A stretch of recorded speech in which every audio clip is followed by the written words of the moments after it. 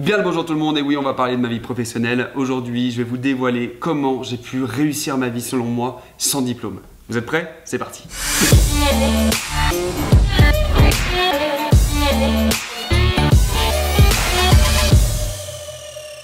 Attendez, pause là. J'ai bien entendu. Le gars a dit qu'il avait réussi. En 10 secondes de vidéo, il s'est mis un boulard énorme quoi. Eh, bon chance. Hein. Alors pas du tout parce que je vous rappelle que la réussite est relative et non absolue. En fait moi je pars du principe que j'ai réussi parce que je suis heureux et j'ai trouvé un équilibre entre ma vie pro et ma vie perso. Pas du tout parce que j'ai pris la grosse tête. Alors je vous rassure, hein, on va pas parler de ma vie perso mais bien professionnelle et je vais surtout assister sur une chose importante les gars. Que vous soyez en cours, euh, dans un boulot, que vous voulez changer de boulot, évoluer, il y a vraiment un truc important. Avant de commencer, je tiens juste à préciser, cette vidéo est en collaboration avec Babel. C'est une application qui vous permet d'apprendre, de découvrir et surtout de renforcer vos capacités dans les langues étrangères et vous allez très vite comprendre pourquoi l'anglais aujourd'hui m'a permis de réussir. Bref, par où commencer Bon, bah je m'appelle Guillaume, je suis né le 17 juin 1989 euh, à Lyon et je suis parti tout de suite dans le Beaujolais, euh, à la campagne, près des... Comment? Quoi? Je suis parti trop loin? Ok, d'accord, pardon, excusez-moi. Alors pour les études, faut savoir que j'ai un bac S SPMAT et uniquement ceci. Et oui, je suis parti en mise à niveau en art appliqué, donc Mana. En fait, pendant un an, tu découvres le format raisin, tu apprends à dessiner, même à te faire un autoportrait euh, en acrylique, et tu euh, fais des planches de recherche. En gros, tu découvres des magazines et tu les colles sur un format A3. Oui, c'était un peu une année sabbatique, on va, on va, on va pas se le cacher, même si franchement, il y avait des matières sympathiques comme l'histoire de la pub. Après, j'ai voulu continuer les études et j'ai fait un crime. Concepteur, réalisateur, infographie, multimédia. Et ouais, mon pote, ça claque, mais par contre, il n'y a, que le nom, hein, je, te, rassure. Parce qu'en fait, la formation correspondante euh, qui est reconnue par l'État, c'est le BTS communication visuelle option multimédia. Au final, tu as 90% de matières qui sont les mêmes et le niveau, il est nul, mais nul,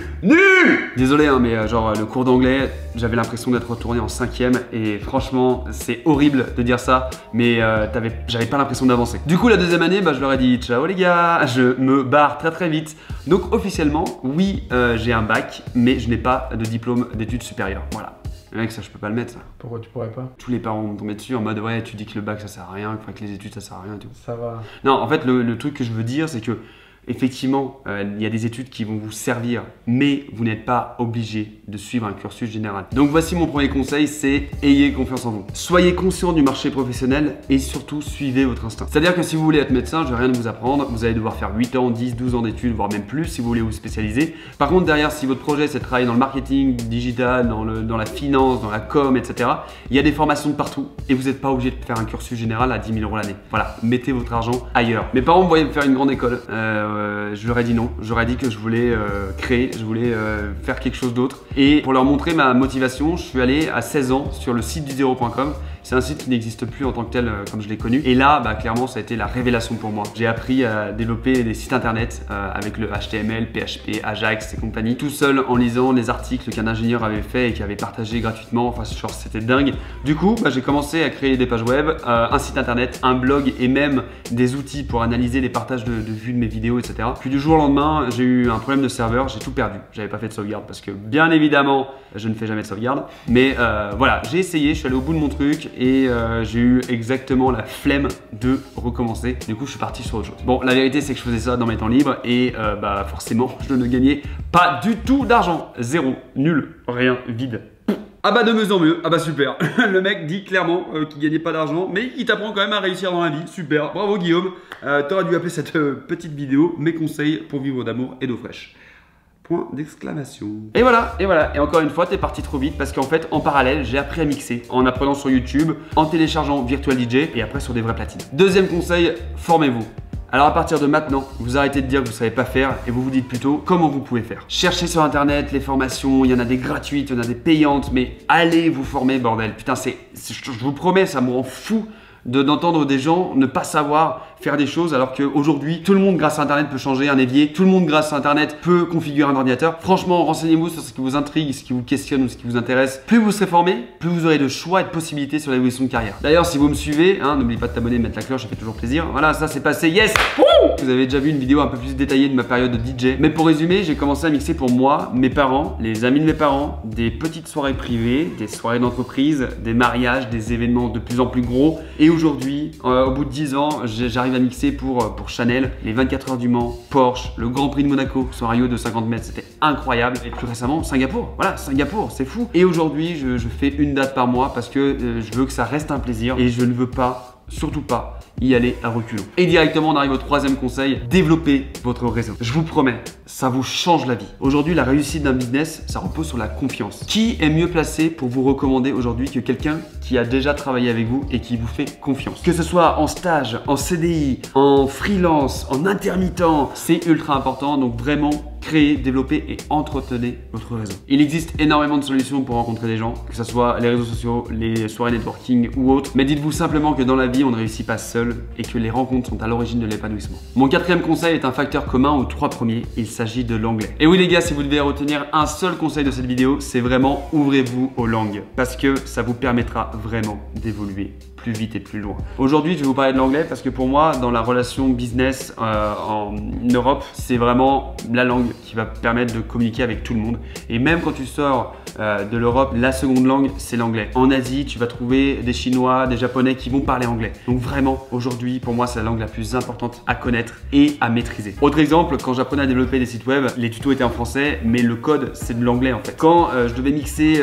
à Londres, à Singapour ou quoi que ce soit, bah, j'étais au téléphone avec les gars en anglais. Et là, pour cette collaboration avec Babel Eh bien oui, euh, j'ai échangé par mail en anglais. D'ailleurs en 2013, quelqu'un que vous connaissez sûrement m'a fait une réflexion, il avait entièrement raison. Il m'a simplement dit pourquoi faire une vidéo dans une langue que 80% de la population ne peut pas comprendre? Jérôme, tu passes par là, et c'est pour cela que je vais vous parler de l'application Babel. Alors comme je vous ai dit tout à l'heure, Babel c'est une application pour apprendre, découvrir et renforcer tes connaissances dans une langue et pas que l'anglais. Hein, bien sûr parce que quand tu vas dans mes langues, tu vois que Guigui il apprend l'anglais, mais par contre tu peux apprendre l'allemand, le danois, l'espagnol, l'indonésien, l'italien, le norvégien, le néerlandais, le polonais, le portugais, le russe, le suédois et le turc. Ce qui fait qu'il y a 13 langues en tout et la particularité de Babel c'est qu'ils ont développé une manière d'apprendre unique parce que elle change en fonction de ta langue natale. Si tu es français et que tu apprends l'anglais, tu vas pas apprendre de la même manière qu'un suédois, tout simplement. En fait, ce qui est drôle, c'est que j'ai pas découvert Babel grâce à cette collaboration.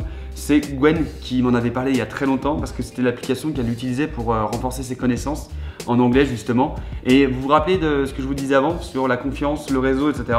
Et bah c'est totalement le cas. J'ai dit totalement oui parce que bah, je faisais confiance à Gwen. J'ai donc testé un peu l'application et j'ai commencé par un cours, débutant pour euh, revoir un peu les bases et je trouve ça trop cool mais du coup bah, je suis vite passé au mode intermédiaire. L'application est disponible sur iOS, Android et même sur, internet, sur l'ordinateur donc tu pourras t'entraîner de partout. L'avantage c'est qu'une leçon dure en moyenne 15 minutes donc même quand tu as une journée ultra ultra chargée tu peux te démerder à trouver 15 minutes et même tu peux la commencer, la continuer et la finir à un autre moment. Par exemple moi tous les matins je prends le métro et j'ai deux métros et du coup je commence une leçon et je la finis oui, car en plus tes leçons sont téléchargeables, donc tu peux carrément les voir et les écouter de partout. Le mieux, ce que je vous conseille, c'est d'avoir des petits écouteurs et là, ça passe tout seul. Enfin, ce qui est cool, c'est que tu apprends la grammaire, le vocabulaire, l'écriture et même la prononciation. Et oui, il y a des exercices de prononciation, c'est-à-dire qu'avec le micro, tu vas devoir répéter les mots. Hello, my name is Guillaume.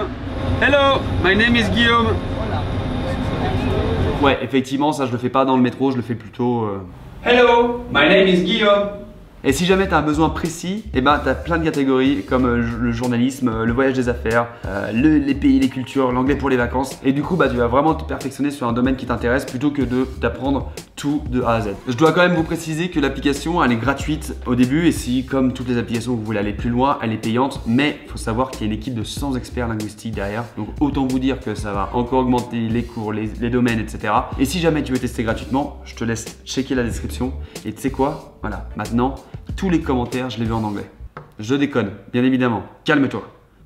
Bon, maintenant que vous êtes bilingue, vous allez pouvoir vous ouvrir aux autres et envisager d'énormes possibilités. Pourquoi? Tout simplement parce que vous n'avez plus le blocage de la langue. Alors imaginez quand vous allez partir en vacances, vous allez réserver un Airbnb, un hôtel, discuter avec les locaux, demander votre chemin. Je vous assure, c'est juste dingue. Cinquième conseil, persévérer ne vous découragez pas. Vraiment, soyez optimiste. Ne voyez pas de problème, que des solutions. Dites-vous simplement que vous aussi, vous pouvez y arriver demain. D'accord? Juste en travaillant, en avançant, en vous fixant des objectifs. Je pense sincèrement qu'il faut arrêter de se plaindre, de regarder chez les autres, de regarder dans le passé et plus se projeter dans l'avenir, d'avancer et vraiment d'avoir un but, une motivation. Motivez-vous, bordel Excusez-moi les gars, je m'énerve, mais euh, avec tout ça, je me suis rendu compte que je vous ai pas parlé de mon activité actuelle, celle de créateur de contenu, photographe, vidéaste. Oui, euh, en fait, euh, j'ai commencé à DJ, donc j'étais saisonnier, puis auto-entrepreneur, ce qui m'a permis de changer de métier entre guillemets, parce que aujourd'hui, en fait, je vais pas vous parler de la partie influence, ça serait beaucoup trop loin à vous en parler. Donc, si jamais ça t'intéresse, tu me le dis en commentaire, toujours en anglais. Hein. En fait, je faisais de moins en moins de soirées et de plus en plus de vidéos, et au final, le schéma est exactement le même que pour le développement de site web ou le DJing. En fait, en 2011 j'ai acheté ça. Il est trop mignon. Il est mignon. Hein. tu faisais le mec à faire tes photos portraits. Euh, je faisais des gros bokeh, machin, j'étais comme ça. C'est un Canon 550D avec un petit objectif 50 mm 1.4 qui est cassé. Bah voilà, j'ai commencé à toucher, faire des photos, faire de la vidéo. J'ai même installé Magic Lantern dessus, pour ceux qui connaissent. Bon, voilà, encore une fois, j'étais pas épanoui, je faisais des, vidéos qui ne me correspondaient pas vraiment, et j'ai décidé de tout arrêter en 2013. Bref, en 2016, j'ai rencontré quelqu'un qui a changé ma vie. Euh, elle s'appelle Gwen, et euh, vous la connaissez peut-être, mais en fait, grâce à elle, j'ai retrouvé le goût et j'ai su ce que je voulais faire. Je voulais créer des souvenirs. Et pour les graver au plus juste, de la meilleure manière qui soit, quoi de mieux que de se former artistiquement et techniquement. Donc j'ai repris les vidéos, les tutos, enfin tout, tout, tout. Il faut savoir que je gagne ma vie en tant que créateur de contenu, photographe, vidéaste depuis mi-2017. Euh, et qu'avant, eh ben, je ne gagnais pas d'argent avec YouTube au début et Instagram. Mais par contre, j'étais passionné. Et c'est mon ultime conseil, les gars, donc le sixième, je crois, c'est soyez passionné. Choisissez une activité qui vous passionne. Et si vous n'avez pas encore trouvé d'activité qui vous passionne, c'est peut-être un domaine. ça peut être n'importe quoi. Ne vous fixez aucune limite. Je vous assure qu'il n'y a rien de plus épanouissant que de réussir avec ses tripes. Aujourd'hui, j'ai 30 ans. J'ai monté une SARL et bah, je, suis l'homme le plus fier et heureux du monde. Et ce n'est que le début. Parce que, encore une fois, quand j'ai commencé, j'ai commencé avec de la passion. Cette passion, elle m'anime toujours autant. Et quand je fais cette vidéo, j'ai juste envie que ça aille encore plus vite, plus loin et, qu'on fasse des trucs de ouf parce que j'ai des énormes choses à vous révéler, mais je peux pas vous le dire tout de suite. Je sais, c'est agaçant. Les plus belles réussites sont souvent personnelles. Pour ce qui est de briller en société, ce n'est pas important. C'est complètement relatif. Il y en a qui préféreront gâter leurs proches et d'autres euh, rouler en Aston Martin. On s'en fiche. Ce qui est certain, c'est qu'on a tous un point de départ et un point d'arrivée. Le chemin, c'est vous qui décidez. C'est vous qui le tracez. Alors oui, il y en a qui sont nés sur une bonne étoile. Il y en a qui ont plus de chance que d'autres. Il y en a qui vont faire des rencontres meilleures que d'autres. Qu'importe, à force de persévérance, de motivation, de passion, vous allez forcément arriver à atteindre votre but. D'ailleurs, je vais finir sur une citation. La seule façon de faire du bon travail et d'aimer ce que vous faites, si vous n'avez pas encore trouvé, continuez à chercher. Steve Jobs. Merci à tous d'avoir regardé, on se retrouve en commentaire pour en parler et à très vite pour une prochaine vidéo. D'ici là, prenez soin de vous. Allez, ciao, tu me un petit message. J'arrive pas, le mec, non mais le mec, tu sais, il se trompe à deux secondes de terminer la vidéo, putain. Allez, on va finir comme ça. Salut tout le monde, prenez soin de vous. Ciao.